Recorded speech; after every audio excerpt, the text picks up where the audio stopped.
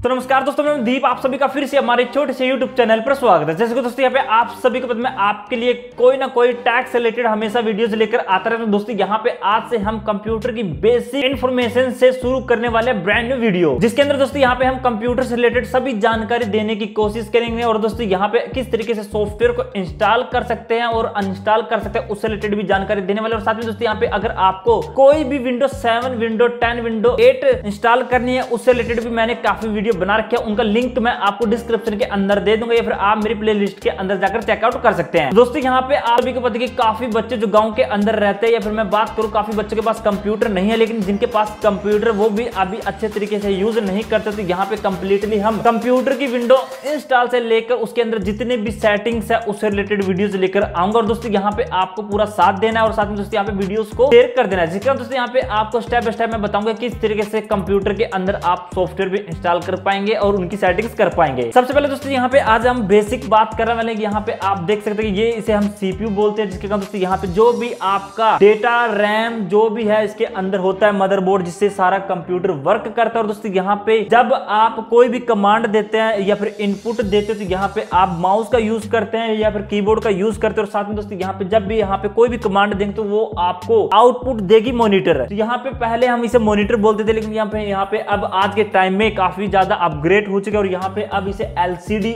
LED बोला जाता है। जिसमें दोस्तों यहाँ पे काफ़ी सारे ऐसे इनकी जो की है या फिर फीचर्स हैं, उसके बारे में बात करें मतलब शॉर्टकट की के बारे में बात करेंगे और साथ में दोस्तों यहाँ पे इसके हर एक चीज़ के बारे में बात करेंगे। और साथ में दोस्तों यहाँ पे अगर मैं बात करूँ, यहाँ पे जो इनपुट होते हैं, यहाँ पे कीबोर्ड हमारा इनपुट में आ गया माउस आ गया हमारा इनपुट के अंदर। और दोस्तों यहाँ पे अगर मैं बात करूँ आउटपुट के बारे में बात करूँ तो यहाँ पे आपकी मॉनिटर आउटपुट के अंदर आ गया और दोस्तों यहाँ पे स्पीकर होते हैं, वो भी आपके आउटपुट के अंदर आ जाते हैं। और साथ में दोस्तों यहाँ पे आप सभी को पता है, यहाँ पे सिर्फ़ आप नॉर्मली इसके अंदर क्या करते हैं कि मूवीज़ देखने के लिए यूज़ करते होंगे, जैसे कि यहाँ पे कोई भी मूवी आप प्ले कर लेते हैं या फिर आप इसके अंदर कोई भी सॉन्ग सुनने के लिए इसे यूज़ करते हैं। लेकिन दोस्तों यहाँ पे मैं आपको स्टेप बाय स्टेप बताने वाला हूँ कि किस तरीके से आप इसके अंदर काफ़ी सारी चीज़ सीख सकते हैं एमएस ऑफ़िस सीख सकते हैं एक्सेल सीख सकते हैं, या फिर आप इसके अंदर पावर पॉइंट पीपीटी सब कुछ सीख सकते हैं। दोस्तों, यहाँ पे स्टेप बाय स्टेप मैं आपको डेली बेसिस एक कंप्यूटर से रिलेटेड वीडियोस लेकर आऊँगा, जिसके अंदर दोस्तों यहाँ पे किस तरीके से आप इसके अंदर जितनी भी कंट्रोल पैनल के अंदर सेटिंग्स हैं, किस तरीके से आप अपना यूज़र नेम चेंज कर सकते हैं, किस तरीके से आप इसके अंदर वाईफाई की सेटिंग कर सकते हैं, या फिर आप इथरनेट के द्वारा इंटरनेट चला सकते हैं मोबाइल का इंटरनेट चला सकते हैं, उसके बारे में कंप्लीटली इसके अंदर हम बात क्या करें मैं बात करूँ, मैं, मेरे पास जो कंप्यूटर है आई